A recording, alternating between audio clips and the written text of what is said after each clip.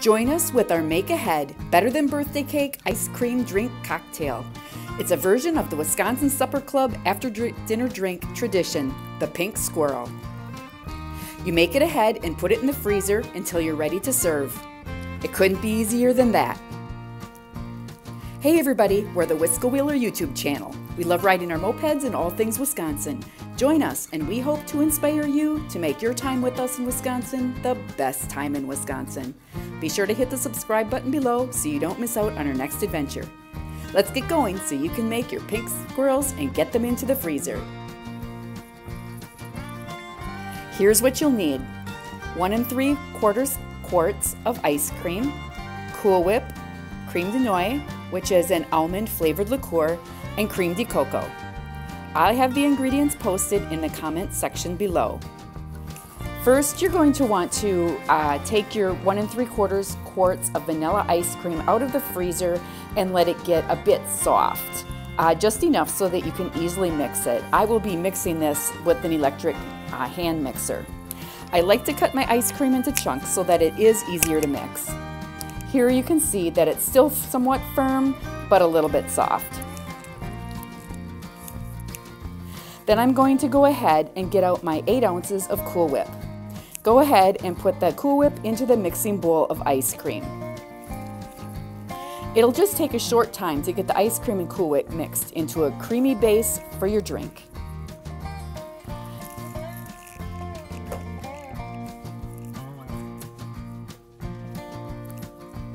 Once you have those two ingredients mixed together, you can go ahead and measure out 3 quarters cup of the cream de cocoa, and this is the clear liquor. Add that to your mixing bowl.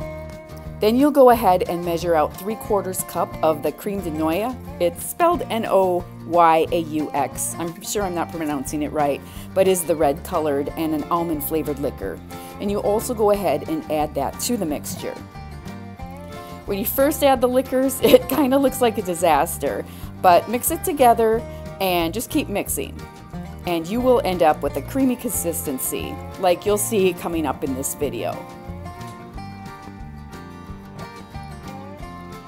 Just keep mixing until you have all the uh, large chunks of ice cream mixed and combined you're going to want to go ahead and find a container that can be put into the freezer that all of the mixture will fit into. I Once I have it mixed up, I just put it right into a plastic container that has a tight fitting lid.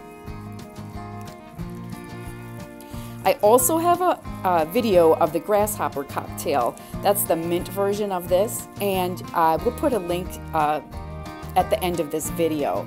You can subscribe to our channel if you'd like to see more. You will need to freeze the mixture for at least 8 hours so that it gets firm. Uh, you can freeze it longer and it still stays this really nice creamy consistency. It's great to have in the freezer for an after dinner drink cocktail and really once you've got it made and in the freezer the fuss is over. Go ahead and make it, freeze it and forget it until you're ready to serve.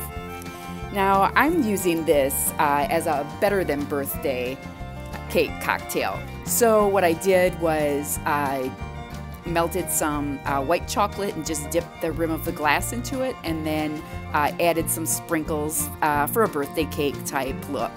Um, put a little whipped cream on top and some decorations and a straw. So um, you can use it as the traditional pink squirrel without all of the uh, bling, but we used it as a better than birthday cocktail. Enjoy.